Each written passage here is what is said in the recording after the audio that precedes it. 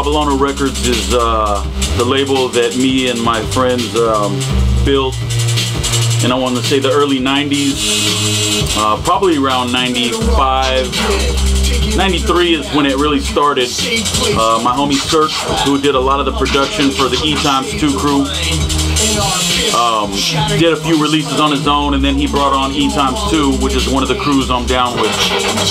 And uh, we built the whole legacy and a lot of our discography from that point on. Pushing CDs, vinyl, and uh, doing shows, and you know, a lot of the stuff that you see around you. Yeah, so this is uh, one of our first projects. And again, you know, this is about the artwork and the quality that goes behind the music.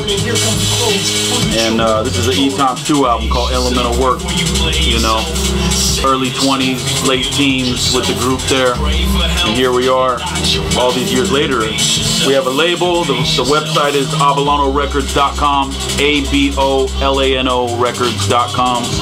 You can check it out. You know, there's uh, music to purchase, digitally, physical. But uh, yeah, that's what's up.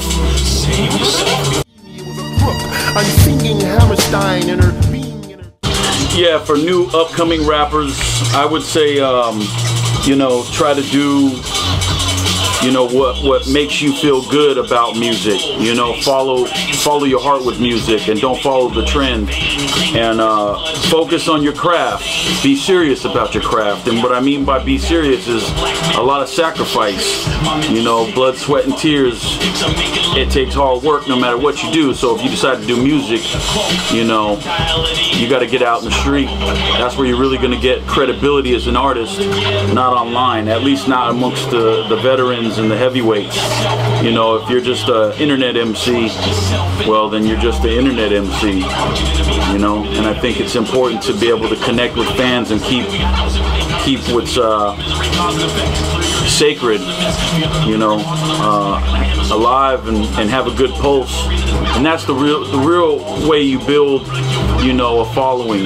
There's a lot of rappers online right now, a lot of MCs that, you know, they could post a picture of their breakfast and get like 500 likes and uh, they could purchase a lot of views or brag about how many views they have on a video. And uh, that really doesn't translate when you're on the road and when you're on tour. It doesn't you know numbers don't lie right but words paint the picture.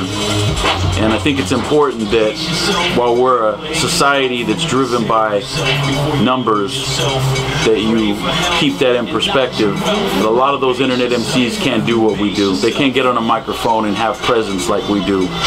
Or maybe they could, but they can't get a show with, uh, you know, the same amount of likes they have. And even through that, if you're gonna do this hip hop shit, just like life.